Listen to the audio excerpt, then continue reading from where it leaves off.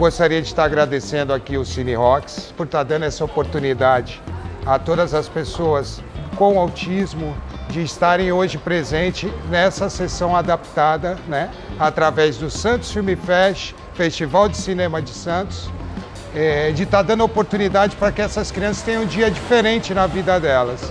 O quanto é importante, né, é, essa interação, essa socialização e lembrar que lugar de autista é em todo lugar. A gente deve sim ocupar todos os espaços.